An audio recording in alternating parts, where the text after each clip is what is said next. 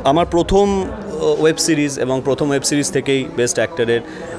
এই অ্যাওয়ার্ডটা পাওয়া ভীষণ ভালো লাগছে, খুবই ভালো লাগছে। তার কারণ আমার সব থেকে দুঃখের জায়গা হচ্ছে অনেক অ্যাওয়ার্ড শোজ, আমি যখন লঞ্চ হয়েছিলাম মানে ইন্ডাস্ট্রিতে আসি, প্রচুর অ্যাওয়ার্ড শোজ হতো এবং আমি নিজে পারফর্ম করেছি অ্যাওয়ার্ডস নিয়েছি, গেছি তার মধ্যে থেকে অর্ধেকেরও বেশি প্রায় এখন বন্ধ হয়ে গেছে আর কন্টিনিউ হয় না। সেই জায়গা থেকে টেলিসিন অ্যাওয়ার্ডস এখনও কন্টিনিউ হয়ে যাচ্ছে এবং হাতে গোনা কয়েকটি আমাদের বাংলা অ্যাওয়ার্ডস আছে, যেটা এখনও ভালোভাবে কন্টিনিউ হচ্ছে এবং সেখান থেকে যদি আমাদের মতো অ্যাক্টার্সরা এরকম অ্যাওয়ার্ড পায় আহ, তো অবশ্যই আমরা তো একটু মনে সাহস জাগে এবং আরও ভালো কাজ করার একটা একটা এনকারেজমেন্ট পাই।